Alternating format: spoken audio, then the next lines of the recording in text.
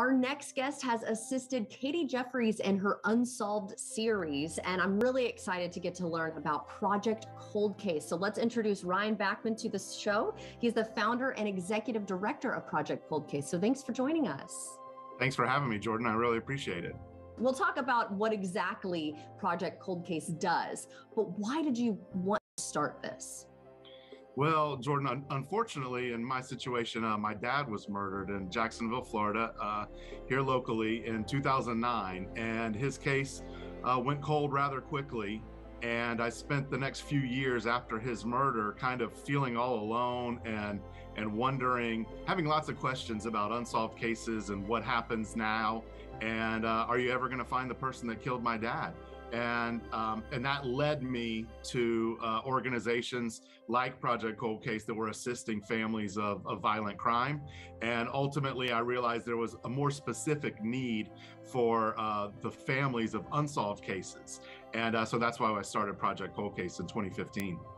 Well, first of all, I'm very sorry to hear about your father. Um, but the fact that you're kind of trying to turn it into something that can help others um, is a great thing. So, Thank you. I have to ask then, do you work on cold cases?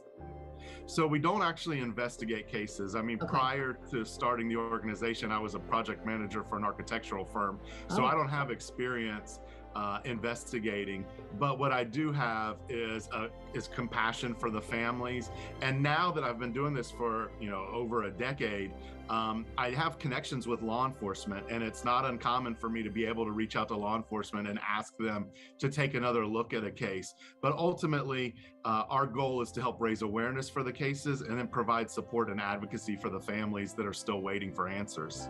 And speaking of getting the word out, there is an upcoming event. Can you tell us about that? Yeah, so every year we do an annual Year of Hope event, and it's an opportunity for Project Cold Case to invite our supporters, our friends and families uh, to come out and um, and learn about what we've done in the last year, some of the uh, success stories that we've had. Um, while I mentioned we don't uh, investigate cases, we have had uh, 33 cases solved that have been featured on our website. So uh, we like to share those successes with our supporters and our families, give them some hope.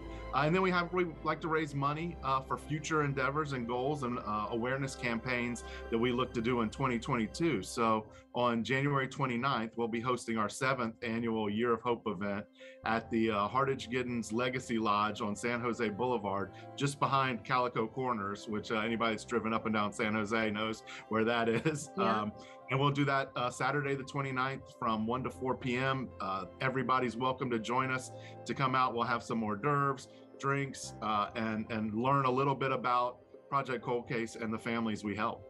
If somebody, though, wants to maybe volunteer or donate money and they can't make it to the event, I mean, how do they get in touch with you? Uh, the easiest way, obviously, is uh, social media. Uh, Facebook, we're uh, at Project Cold Case um, just all one word, Project Cold Case. Uh, and then our website, which is www.projectcoldcase.org. Uh, there's ways to donate through both of those links. And then, uh, you know, our Facebook page, you can like it and follow along. We share those stories. We share spotlights of, of cases that uh, every week. Um, we share Katie's stories when she does the Unsolved series, and we help her out with those. Uh, so it's really an opportunity to see the real life impacts of violent crime and unsolved crime uh, in our own community. Yeah, in our own area. I think when we watch a lot of those shows, we can separate ourselves from it because that, that didn't happen in my backyard, you right. know. But if it hits home, uh, whether it's someone you know or just the area you're in, maybe uh, more people will be apt to help. So thank you so much for helping us get your message out. Thank you, Jordan, for having me. I really appreciate it. Of course. And if you'd like to see this segment again, just head on over to firstcoastliving.net.